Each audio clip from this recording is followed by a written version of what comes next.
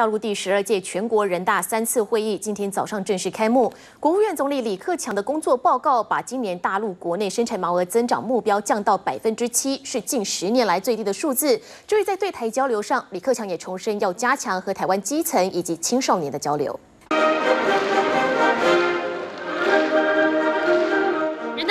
前一天，大陆国家主席习近平发表对台谈话，大陆国务院总理李克强也再次重申坚持“一国两制”的对台方针，坚持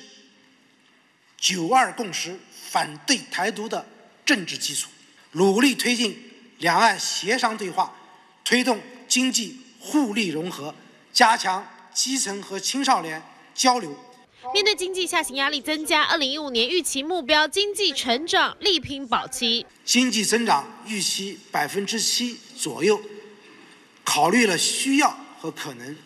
与全面建成小康社会目标相衔接，与经济总量扩大和结构升级的要求相适应，符合发展规律，符合。客观实际，这次目标是十年来最低水平，更代表中国经济进入到低增速的新常态。而报告中对打贪态度依旧强硬，对腐败分子零容忍、严查处，对腐败行为无论出现在领导机关，还是发生在群众身边，都必须严加惩治，有权不可任性。